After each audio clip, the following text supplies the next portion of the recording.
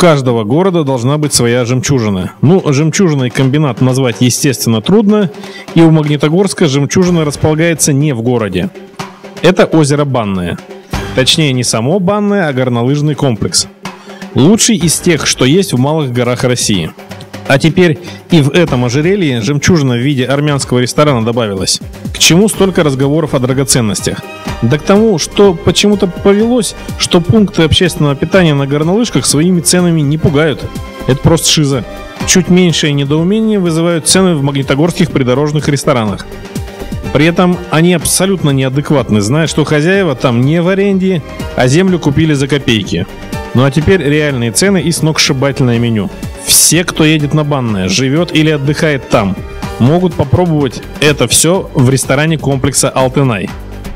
Этот комплекс первым вас встречает по старой дороге на банное, тут надо направо повернуть, либо после катания или плавания, или в процессе вы сюда легко можете добраться. Здесь есть и развлекательная программа, и достойная обстановка, и VIP-зал. Но чего здесь нет, так это сумасшедших цен курортной зоны. Так что можно плотно и вкусно покушать, расслабиться или набраться сил. Отвлечься видом танца живота или шоу-программы, потанцевать и посвистеть. Так это все дешево и просто. Ну а мы сюда приехали за тем, чтобы отведать блюда с душой, приготовленные профессиональным армянским поваром. В его карьере были и лучшие рестораны Еревана, а вот сегодня лучший ресторан курортной зоны, как и Магнитогорска, впрочем, это ресторан комплекса Алтынай. Теперь мы представляем вам банкетный зал ресторана «Акташ». Но самая изюминка в том, что здесь ресторан армянской кухни. И в очередной раз мы попробовали покушать на 1000 рублей все, что здесь представлено, все, это вместе на 1000 рублей. Вы где-нибудь такое видели? Для того, чтобы сюда приехать, действительно можно вырваться и проехать ну, те самые 29 километров до озера Банное. И начнем мы с хачапури. Так вот, хачапури в городе вам настоящий скушать не удастся. Потому что то, что вы покупаете в кафешках, это не хачапури, это подделка какая-то. Вот настоящая лепешка с сыром.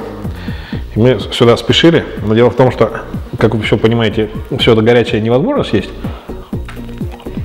М-м. М-м. Теплая хачапура. Это очень вкусно. И даже невзирая на то, что мы сюда немножко с опозданием приехали. М-м.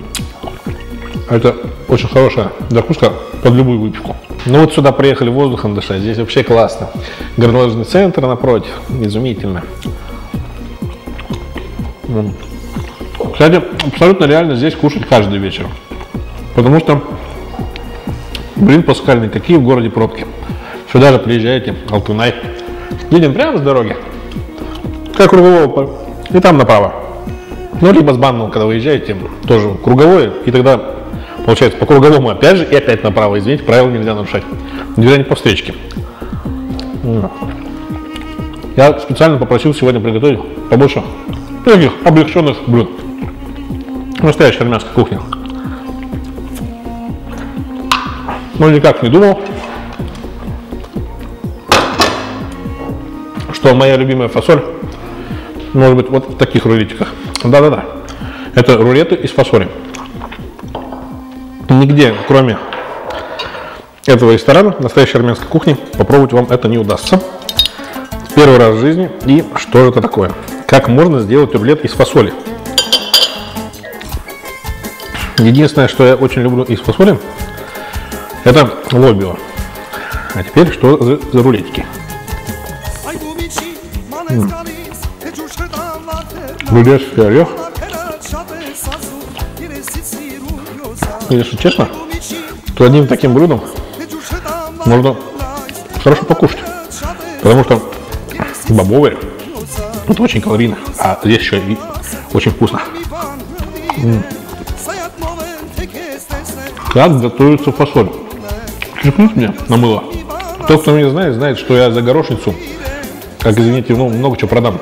Теперь уже за эти Гурильки фасоли. Это холодненькая. Ну и на дворе, хотя не золотая осень. Но к тому моменту, когда прокрутится вот эти сюжеты здесь на банном будет очень действительно золотая, очень красиво. Поэтому приехать, вот здесь в зале посидеть или в том зале, ну, можно здесь каминчик зажечь. Это просто супер. Перец маринованный, фаршированный капустой. Вот так вот. Как, ну, скажем так, человек южный, а все корни у меня оттуда. Сейчас мне будут юбками тыкать, но, извините, часть турецких корней у меня есть, так же, как и гагарузских. Вот. Хотя, не знаю, сейчас очень хорошо там на юге.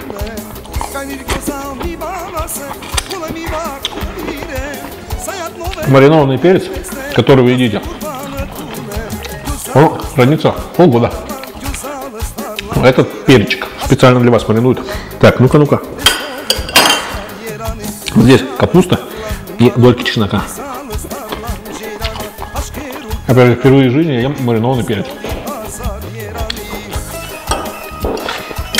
Блюдо недорогое, но что добавили-то еще?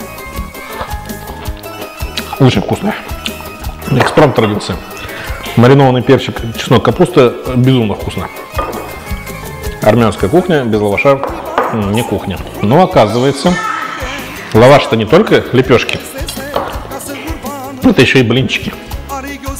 Как-то я вам сегодня, сегодня про закусочку. Вам будет тяжело смотреть этот сюжет. Надо будет куда-нибудь бегать. Хотя зачем бегать? Сюда приехали.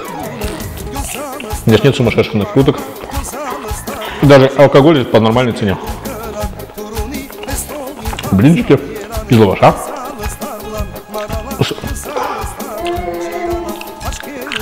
Фаршем. Причем фарш обжаренный и морковкой. М-м-м. Тема. Чувствую я где-то все-таки бараний фарш. Потому что только он имеет такой специфический привкус. М-м. И так пузик у меня уже так утрамбовывается. А передо мной еще раз, два, три, четыре, пять горячих. Начнем с горячего облегченного. Здесь могут приготовить вам блюдо как из телятины, так и из баранины. Ну, естественно. В принципе, легко обсудить все это. Но это блюдо съедят все. Да. Вот такая реакция у моего сына. Сейчас папа будет лупить шашлык из шампиньонов. Знаете, сколько это стоит? Догадайтесь. Такой шашлычок всего стоит 70 рублей. То есть вот это честный ресторан. Можно сделать так, а можно и вот так. Ну, как я вам говорю. Кстати, по секрету, здесь настоящий армянский повар из лучшего ресторана Еревана. И все, что сделано на углях, представляете, вы в Магнитогорске где-нибудь в летничке сидите, вот, и кто-то снует. Мангал такой. Здесь мангал сделан, ну, там, где готовится все, на кухне. И вот я видел, как это готовится. Кстати, вы в прошлом сюжете все это видели, теперь надо попробовать.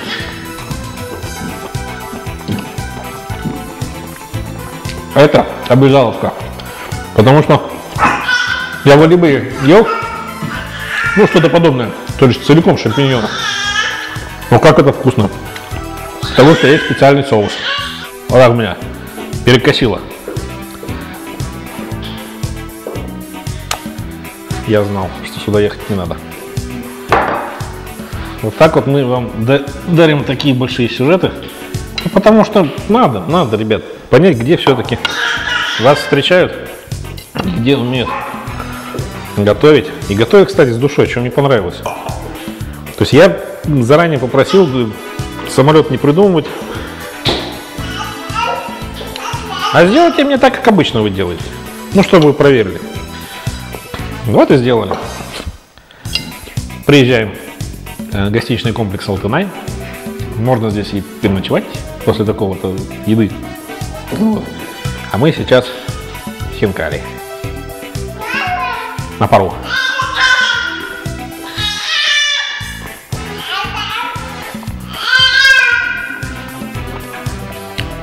Лешенька, покушаем. Покушаем. Подожди. Просто за столом мог быть и Алексей Черекин младший. Только у него пока пачка не такая. Потому что эти хинкали именно вот так и надо запихивать. Потому что сок от хинкали во рту растекается. А туда еще добавили свеженький чесночок, это потом уже вы понимаете. Причем постольку, постольку он на пару, он чеснок не уветривается, не становится таким бесцветным, он яркий. М-м.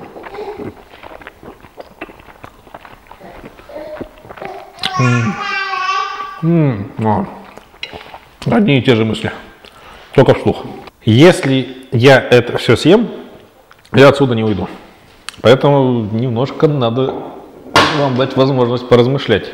Где вы так можете отдохнуть? Вот смотрю передо мной, красота.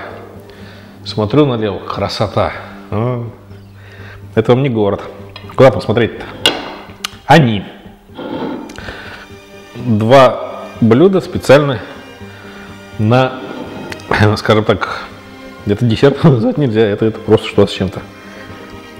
Баклажан с фаршем. Да, помните? Ты мужик. Многие сюда приехали и попробовали. Ты мужик, ну так, по-взрослому. Они.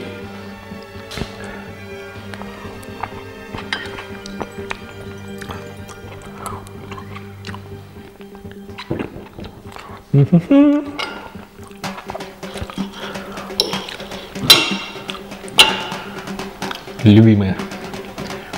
Это гораздо вкуснее, чем те баклажаны, которые ты готовишь. Сейчас мы покушаешь. Рецептуру мы не сюда. Хотя, хотя вот за такой штучкой можно приехать и не париться. Они.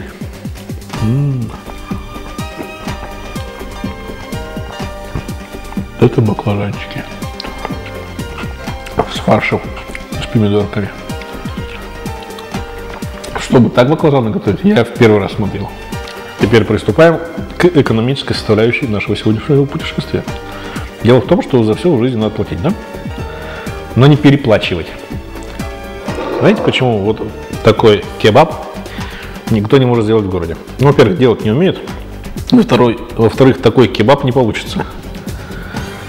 По такой цене. Я вам сейчас объясню, что такое кебаб. В принципе, это фарш. Но тут надо понимать, как его приготовить. То есть в каких-то забегаловках города, ну, в 90%, как вы думаете, ну, фарш из чего делается-то? А вот здесь кебаб делается из баранины, как он должен делаться. Да, к кебабу. Соус попробуем. А что же такое тут за соус? Все в первый раз. Напоминаю, я сюда приезжаю пробовать обыкновенную пищу, которую вы можете заказать. Так вот, такой кебаб, который в два раза больше, чем магнитогорский кебаб, ну, в принципе, кусочки, вы понимаете, да? Стоит всего 170 рублей.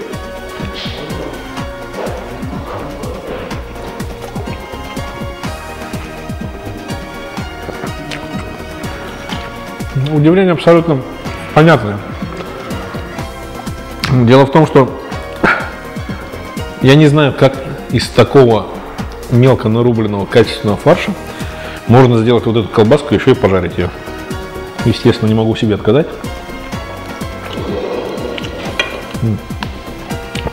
Попросил сказать, не сказали секрет. Ну, шашлычок я делаю еще тот, а за любовь к буду сюда приезжать. В ресторан гостиничного комплекса Алтынай.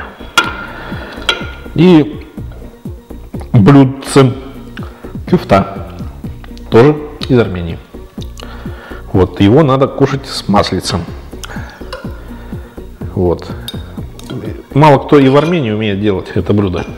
Дело в том, что вот эта телятина, вот, она приготовлена таким образом, что ну, получился как бы пирожочек.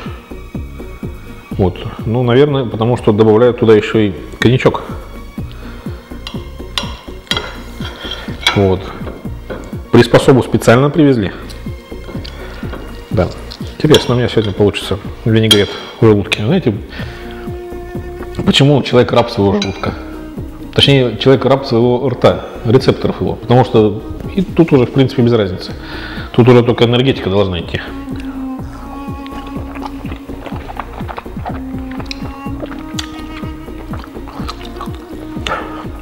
В очередной раз ничего подобного я в жизни не ел. Это специально выбранное мясо. Сделанное в такой воздушный фарш, который получится у вас, ну, это вряд ли. Рекомендую попробовать. Просто вы не поймете, что так можно сделать. Но это вкусно. Вот после первого, второго, третьего кусочка приходит то самое благостное ощущение, что ты ешь, ну, не земную по вкусности пищу. Ну, кстати, в номера после такого действительно легко. И не стоит напрягать полицию, ставшего родным Башкортостана, потому как в этом чудном местечке Башкирии, да тут же, номера-то эти есть. Честно, лучше большинства турецких пятерок, да и думаю российских тоже. Теперь, естественно, в заключение небольшая рекогносцировка, то есть ориентир на местности. Если ехать по старой дороге, то, снижая скорость перед круговым, вы и комплекс Алтынай, и ресторан увидите. А затем уже на круговом сворачиваете на пока еще грунтовку направо и в горку вверх. И здесь вам гарантированы те самые объедательные впечатления, коими я с вами с удовольствием поделился. Честно говоря, я думал, что я ел все, и удивить меня едой сложно. Оказалось, м, можно. Ой, ну и чайная процедура. Здесь, в Акташе, всего лишь в 25 километрах от города. Чайная процедура заканчивается вареньем. А теперь не падайте. Из чего это варенье? Вы когда-нибудь в жизни варенье из баклажанов ели? А из кукурузы? Я нет, в первый раз. Вау. Ну тут особо это ничего придумывать не надо, надо просто приехать попробовать. Как же это возможно? Из овощей сделать варенье. Варенье я ел из одуванчиков, из э, шишек. Но вот чтобы с баклажана, это как-то в первый раз в жизни. Вы знаете, баклажан, это что, универсальный продукт? Похоже так.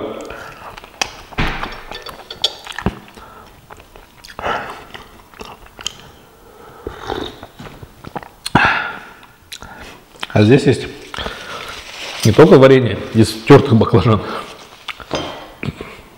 Да. Но еще и вареные баклажаны, варенье.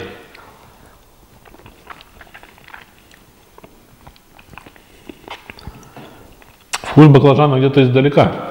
Но это баклажаны, вы понимаете, что это вкусно. Сейчас все баклажаны вы раскупите и наделайте себе. Хотя нам не получится, мне не нужно. Если не умеете, сюда приезжайте. Ну и на пасашок, скажем так. Из кукурузы варенье. Да. Как говорят, Остап Бендер знал 100 с лишним способов приготовления самогона. Вот. Сколько здесь способов приготовления варенья? Кукурузка, царица полей, варенье. Это вкусно. Так что приезжайте, я сейчас телефончики покажу. Самое главное, что это вкусно и достаточно дешево.